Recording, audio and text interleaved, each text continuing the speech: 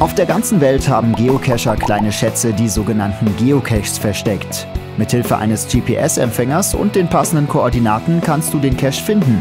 Geocaching ist ein besonderes Outdoor-Erlebnis, bei dem jeder mitmachen kann. Dabei genießt du die Natur und entdeckst Orte, die dir normalerweise verborgen bleiben. Du startest, indem du dir auf der geocaching.com-Seite einen Geocache aussuchst, die Cache-Beschreibung liest und die Koordinaten in deinen GPS-Empfänger überträgst. Cachen kann man am Tag und sogar bei Nacht. Hier ist die richtige Ausrüstung wie zum Beispiel eine gute Taschenlampe besonders wichtig, denn oft zeigen die Reflektoren den richtigen Weg. Geocaches können zu Land, zu Wasser und auch in luftiger Höhe versteckt sein. Die Verstecke sind oft sehr unterschiedlich getarnt, wodurch die Suche besonders abwechslungsreich wird.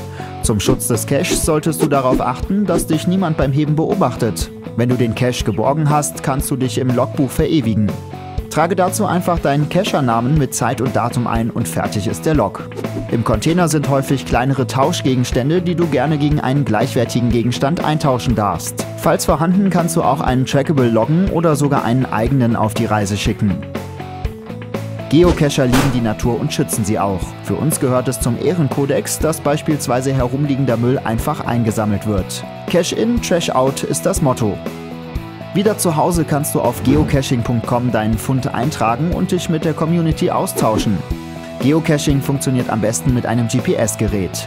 Du kannst natürlich auch ein GPS-fähiges Smartphone benutzen, allerdings ist ein GPS-Gerät genauer und der Akku hält länger. Wenn du ein wenig Erfahrung im Geocaching gesammelt hast, kannst du deiner Kreativität freien Lauf lassen und eigene Caches basteln und verstecken. Alles, was du dazu benötigst, findest du bei Mr. Cache im Onlineshop.